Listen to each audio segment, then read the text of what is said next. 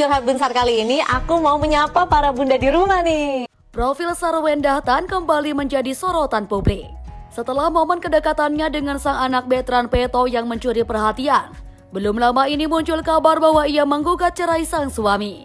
Menurut kabar yang beredar, Sarwenda mencoba untuk mengajukan gugatan cerai untuk Ruben Onsu ke Pengadilan Negeri Jakarta Selatan. Namun, ex-member girl band Cherry Bell tersebut menepis dugaan tersebut dengan gamblang. Ia menyatakan bahwa tidak mengajukan gugatan apa pun ke pengadilan negeri. Sarwenda Tan merupakan seorang penyanyi, model, aktris sekaligus pengusaha tanah air. Wanita kelahiran 29 Agustus 1989 ini dulunya merupakan anggota Cherry Bell, salah satu girl band ternama saat itu. Tahun 2012 bersama Devi Noviati, Sarwenda resmi dipensiunkan dan membentuk duo yang bernama Wendev. Namun pada akhirnya Wenda memutuskan untuk memulai solo karirnya. Sarwenda mengawali karirnya sebagai seorang penerjemah dan guru bahasa Mandarin. Hingga suatu ketika ia menemani sang sahabat untuk audisi dan Sarwenda terpilih dalam audisi tersebut. Ia kemudian menjadi salah satu anggota girl group Cherry Bell yang berjumlah 9 orang kala itu. Dalam girl band ini, Sarwenda menjadi paling tua kedua setelah Devi. Keanggotaan Sarwenda dalam girl band ini menjadi sorotan profil yang cukup mencolok. Sarwenda mengikuti audisi seleksi pemilihan anggota Cherry Bell pada 7 November sampai 8 Desember 2010. Ia terpilih bersama 8 anggota lainnya dari 400 kontestan. Selama menjadi anggota dalam girl group ini, Sarwenda terlihat paling dekat dengan Devi. Dulunya ia juga sempat memiliki julukan si Ratu Cibi Pita Merah. Hingga pada 12 April 2012, Sarwenda dipensiunkan dari girl group ini dengan alasan usianya yang telah mencapai batas ketentuan.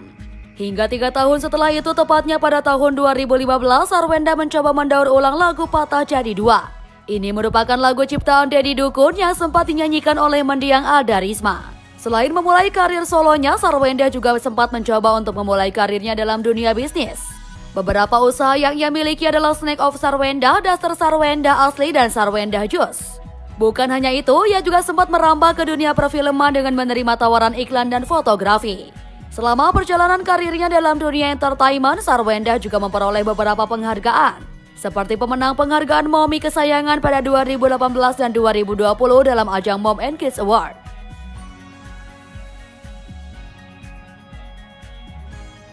Belum lama ini, kedekatan Sarwenda dengan sang anak angkat Betran Peto cukup menarik perhatian netizen.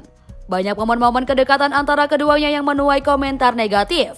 Untuk meredam isu-isu negatif tersebut, Ruben pun mengambil tindakan. Ia bahkan menuntut pemilik akun yang memviralkan kabar miring tentang kedekatan keluarganya.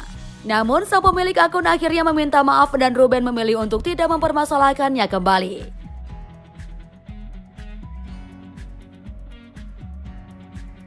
Setelah redanya isu kedekatan dengan sang anak, Sarwenda kembali menjadi sorotan.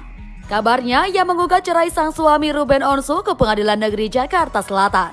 Sarwenda dan Ruben Onsu sendiri telah menjalin hubungan rumah tangga selama kurang lebih 11 tahun lamanya.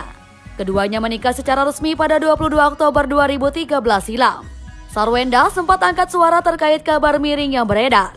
Ia menyatakan tidak mengajukan gugatan apa pun ke pengadilan negeri. Kuasa hukum Sarwenda pun menyatakan bahwa pihak terkait tidak ada mengajukan gugatan apa pun. Menurutnya, Sarwenda sengaja datang ke Pengadilan Negeri Jakarta Selatan hanya untuk meneruskan gosip yang beredar. Pasalnya, gosip tersebut tengah ramai menjadi perbincangan media maya. Itulah profil Sarwenda, istri Ruben Onsu yang sempat dikabarkan menggugat cerai sang suami. Faktanya, kabar miring yang beredar tidaklah benar dan rumah tangga keduanya tetap solid dan berjalan. Ika Harapan Rakyat Online